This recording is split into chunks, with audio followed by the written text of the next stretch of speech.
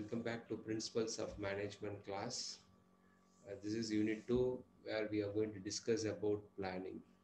In previous unit, uh, we discussed about uh, like what is management, a definition of management and evolution of management, where we see uh, how the today's uh, management theories and principles all evolved and the contributions of uh, uh, management gurus like uh, Peter Drucker, uh, Fayol.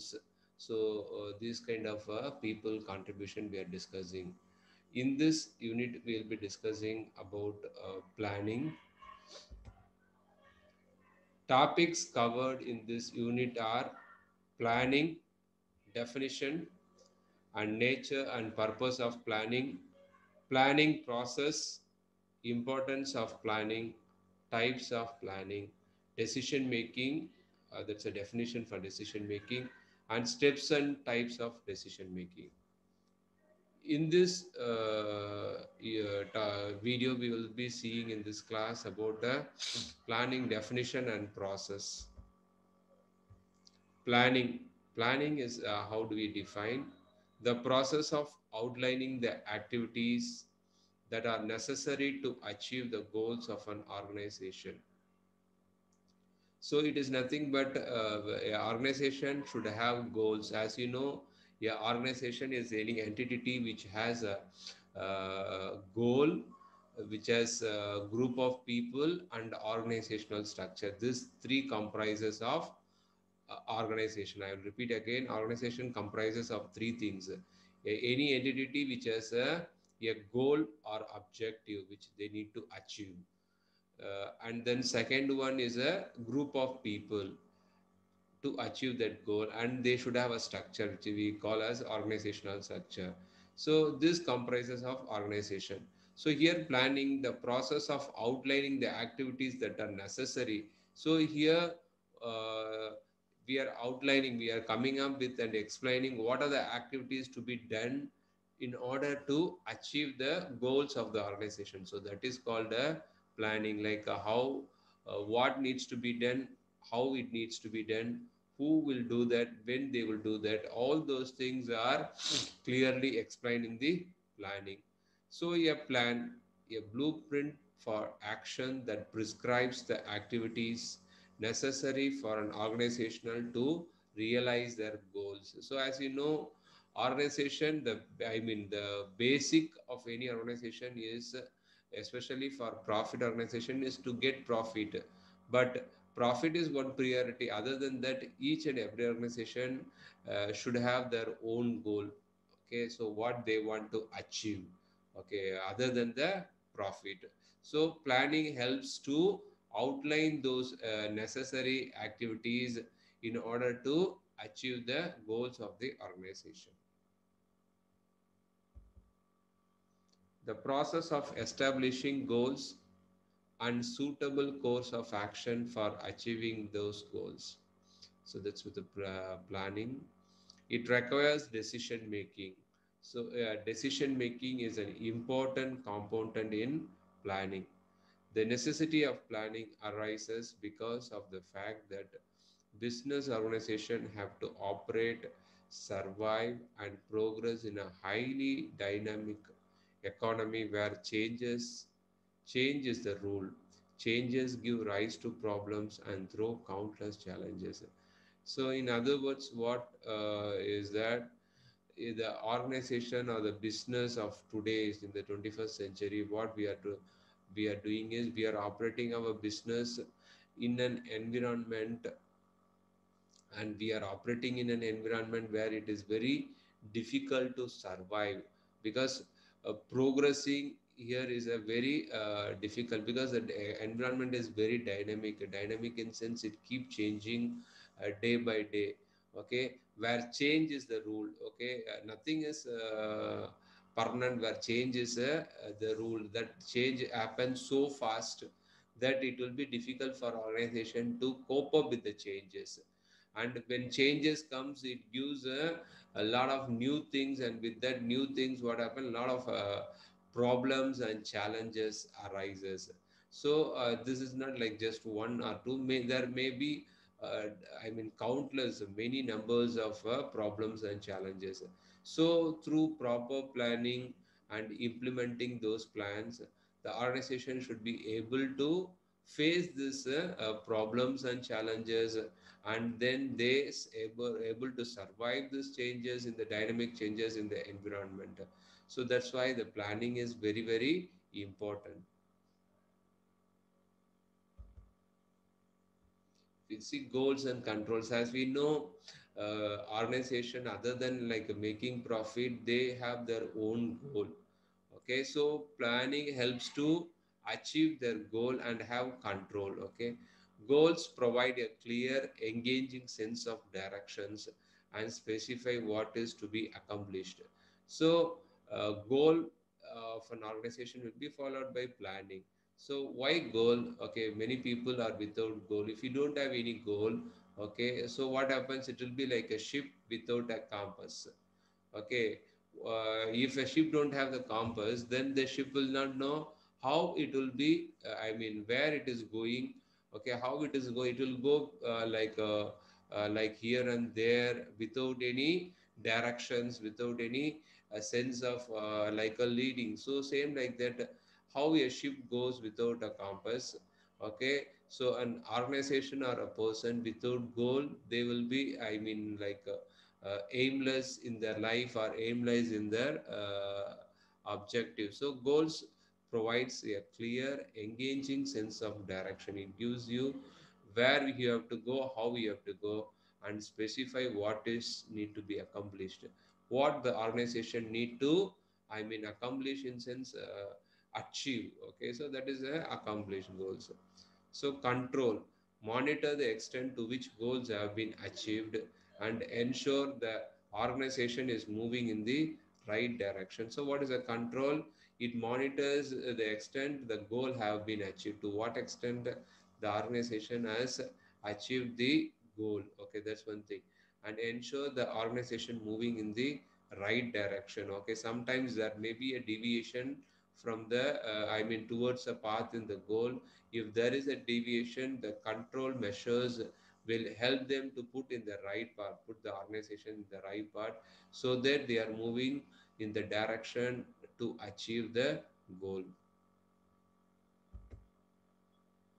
Now we see here the uh, planning as a linking mechanism. How plan links a goal and control. As we know, there is a goal. A organization means or any entity we should have goal okay that's a goal okay and then we have a plan in between and the plans helps to achieve the goal and the plan also helps to have a control okay which tells you how far uh, you are in the moving in the direction of the goal okay how much you have achieved. If there is any uh, deviation from your path towards a goal then it will be directed in the correct uh, direction. It will you'll be put in the correct direction. So this is how goals plans and controls are linked this mechanism so why plan? So plans is very very important. It gives better coordination. Okay uh, focus on forward thinking. Uh, plan will help to participatory work environment and plan will be more effective control system. Better coordination. What is coordination? In an organization all the departments are i mean like a independent. I mean dependent not independent dependent means one department will uh, depend upon other uh, department so what happens uh, and then no uh, department can say oh i am the superior department. Uh, other department is not uh, inferior to me. No such a thing called. Uh, usually, organizations, the departmentalization is based on the functions. Functions mean what kind of activities they are doing. Uh, based on that, usually organizations are departmentalized. So under that category, uh, we have different departments like uh, what do you say, like human resource department, uh, sales and marketing department we have production department we have operation department we have finance and accounting department so under the category of function, organization usually will be departmentalized.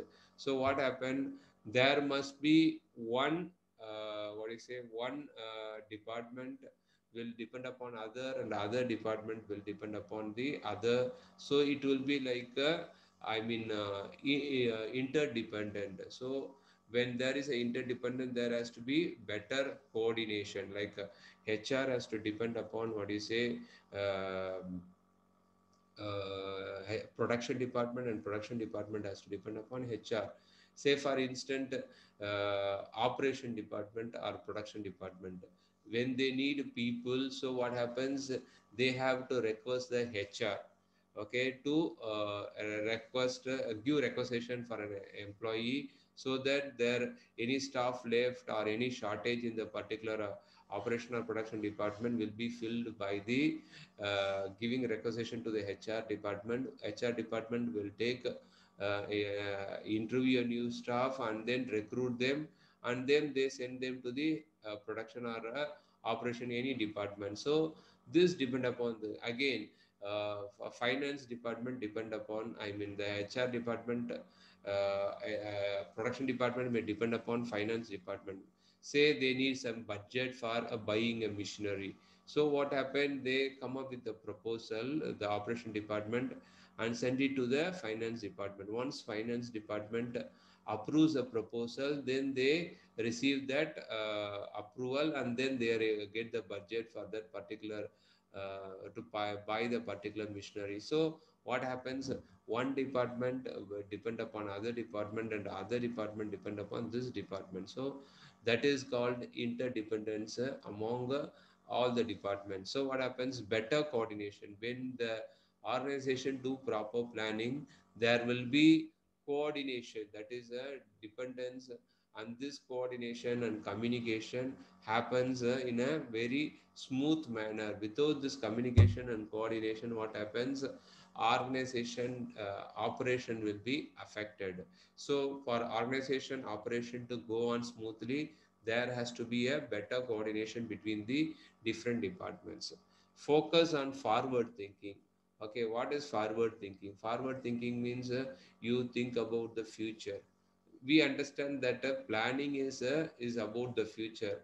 It's not about the past. Okay, uh, from the past, if we make any mistake okay that mistake we will rectify in the future through planning.